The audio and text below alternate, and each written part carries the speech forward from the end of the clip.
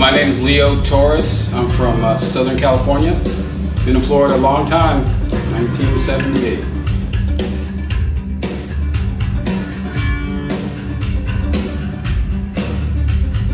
Uh, in high school, had some high school bands. Used to love to play those weekend parties. Um, long story short, I became a professional in my late teens, early 20s. Closed bars down for 10 years, all through the 80s, a little bit of the 90s. Now I'm back into getting my groove on and party time with people I don't know, good time.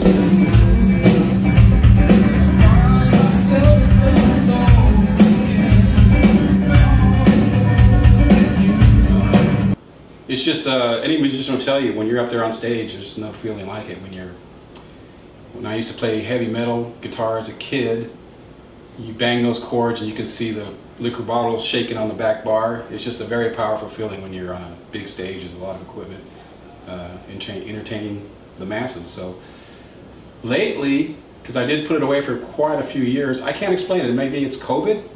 Something happened to me in the past year because I thought I would never play again, to be honest.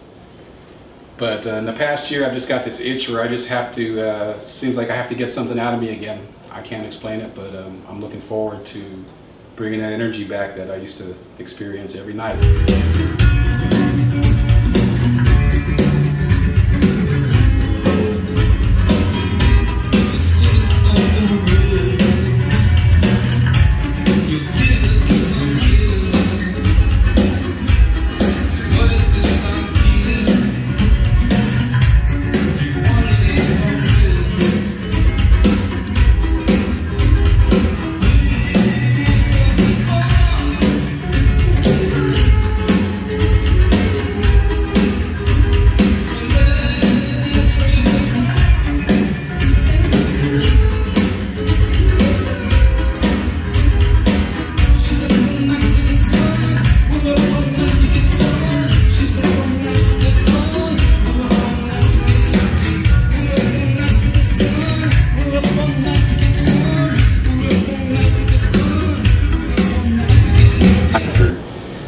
Six, seven nights a week is what we used to play back in those days. I know nowadays they play one night in one night at a bar in Tampa, one night at a bar in St. Pete. I can't relate to that. When I played, it was six, seven nights, Monday through Saturday, Tuesday through Sunday, year after year, month after month.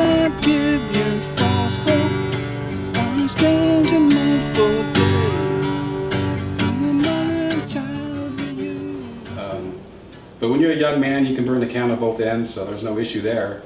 Now, of course, not interested in doing, in doing that kind of stuff again, but uh, definitely looking forward to getting out there and entertaining and, uh, you know, bringing a good time to as many people as I can.